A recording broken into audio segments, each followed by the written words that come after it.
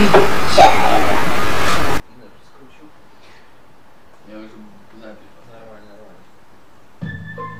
Эй, Никита, пидор ебаный! Это Михалыч здесь вещает.